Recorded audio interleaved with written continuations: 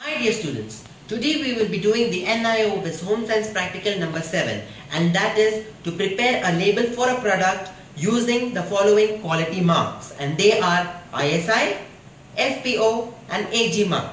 Let's first know where it is used and what does these marks mean.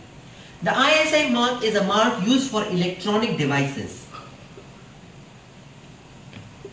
such as fans, etc which actually tells you the quality check and quality control done for it.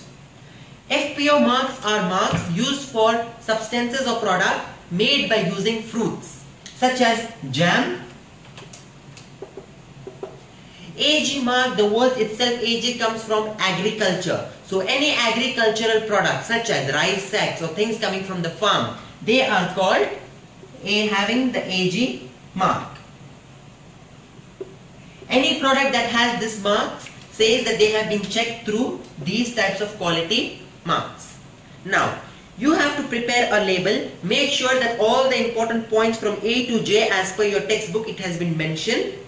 And I will be uploading the important procedures uh, during the video also. Now, what are the related questions? Why is it important to include the manufacturer's name and address on the table?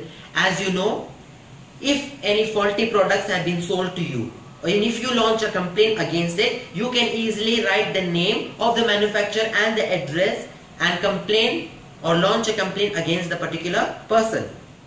Why is it important to write the date of manufacture and expiry? As you know every subject every product has got a shelf life. It is important so that this food or the particular eatable items does not expire and if it expires it is not being sold to the people as you can get sick by eating it. Number three, why do we need labels on products? Labels on products helps a person to choose the correct product and makes him or her understand what is the product about, what it is used for and how it can be helpful for you. These are the three important questions that you people will be asked during your examinations how to prepare a product, uh, label? Make sure the label is much clear and easily written. You can either make a printed label. Printed one is much better than handwritten as it is much clear for the person who wants to buy can easily understand what the product is about and what it is used for. Hope that you have understood every part of this video. Any questions you require, please mention in the comment box. Thanks for watching the video.